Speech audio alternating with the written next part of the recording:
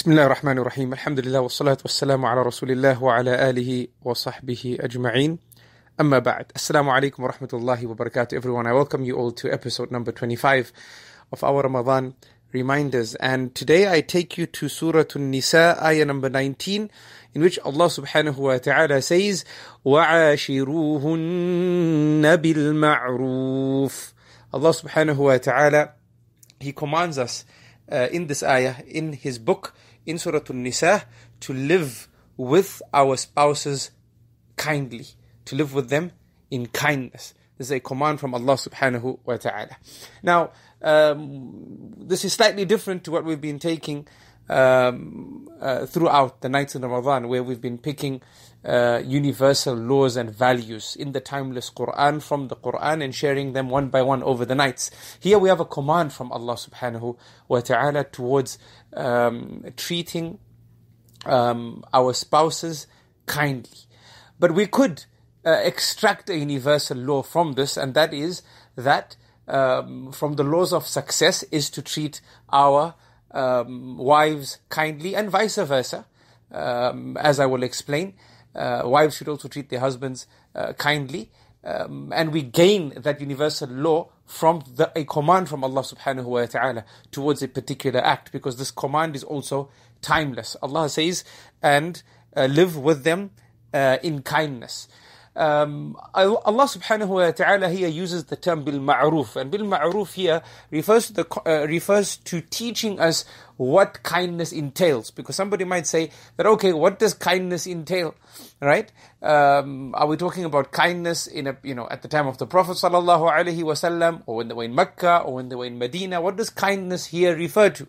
And the scholars of usul al-fiqh they explain that this sort of, uh, or, the, or this ayah, or an ayah uh, in this format, teaches us that we should live with them in kindness, or kindness here refers to um, what uh, our norms uh, teach us uh, to be from kindness, right? So the norms of the place that we live in and the time that we live in. So it's about the time and the space that we are in. That time and that space, um, what it uh, directs us towards in terms of kindness, then Allah subhanahu wa ta'ala is including that act in this ayah, that we should live with them in kindness, meaning doing all those uh, good things that don't contradict the sharia, that our norms direct us to, uh, we should uh, make sure that we adopt those values with our our wives. Now, this particular ayah came down uh, as a result of a bad practice during the time uh, of the Quraysh, because during their time, when a person passed away,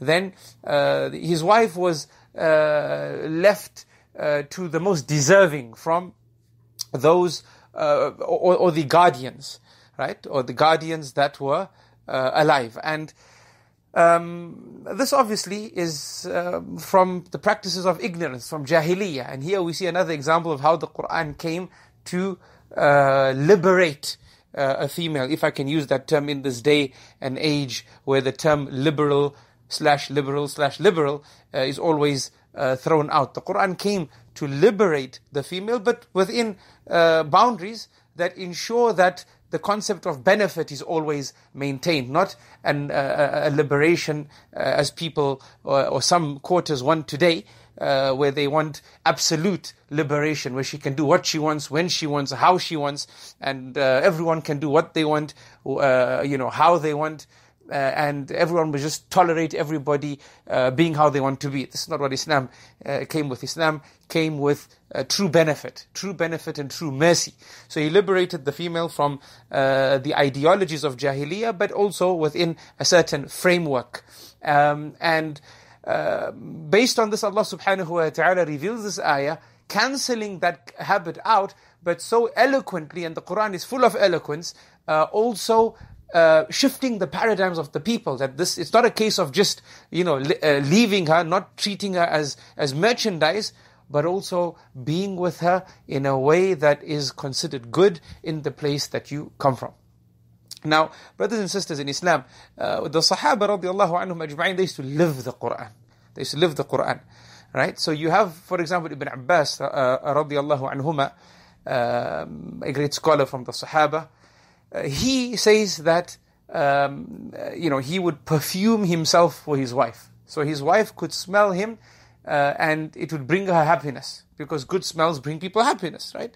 We know that if someone puts air freshener uh, or some bukhur or something that purifies the or, or, or uh, changes the odor of the masjid or a room that we go into, we feel happy, we feel uh, it, it heightens our, our, our, our senses. It, um, uh, you know, brings um, an acute focus to our attention. Um, it benefits us, right? It benefits us. So he puts this perfume, uh, this itar. Why? Because uh, he wants to bring that benefit to his wife. Why? Because Allah subhanahu wa ta'ala said this. And he feels that this is from goodness towards her right? That uh, it's not about smelling normal. Let me smell nice because it would it would it would enhance her and as I love for her to smell nice for me, I will also smell nice for her. Right? This is the Sahaba living the ayah. Uh, radiallahu anhum ajma'in, in particular in our case, uh, Ibn Abbas, uh, radiallahu uh, anhuma.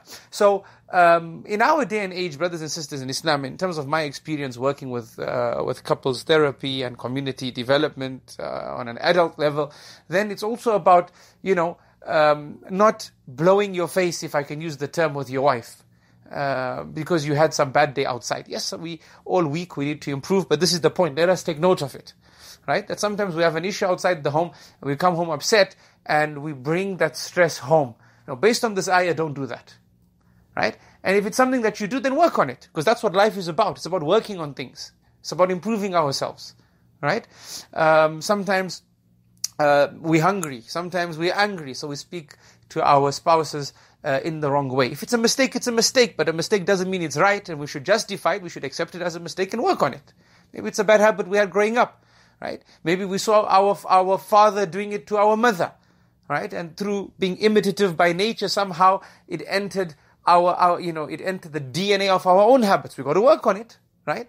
Um, so we, we shouldn't uh, allow our anger or our stress or our uh, bad day or uh, our tiredness to treat our spouse in a way that is not befitting or that goes against the concept of ma'ruf, the concept of being kind to her based on the norms that we come from. There's no norm on earth that considers, uh, you know, this type of behavior kindness anyway, right? But just to be true to the translation of the ayah. Um, we look at our norms. What do our norms direct us towards in terms of kindness? We should adopt it. Our, our norms definitely don't uh, teach us that it's from kindness to take out your stress and your problems outside the home uh, in the home. Uh, so we should always come into the home smiling. Um, come, the Prophet ﷺ used to clean his mouth before entering the home. So had, there was a good odor that would come out from his mouth, and he would come in a way that people would uh, be happy to see his presence and um, to receive his presence, sallallahu alaihi wasallam. Sometimes, yes, there are exceptions to the general rule. Maybe your wife does something that upsets you. This is a different circumstance. But even then, don't cross the boundaries. It shouldn't become, it shouldn't get to a point where you start insulting her and making her feel uh, belittled or beyond herself or beyond being a human being. Right? Even anger, right? Even the Sharia allows you to be upset if she did something wrong, but it doesn't give you the right to, uh, you know, uh, to cause uh, emotional harm. We shouldn't be abusive. And in previous episodes this Ramadan, we've spoken about this concept of, uh, you know, daughters in abusive uh, relationships based on another principle that we discussed. Uh, but um, uh, in terms of this command of Allah subhanahu wa ta'ala, I, I, I, highlight this point.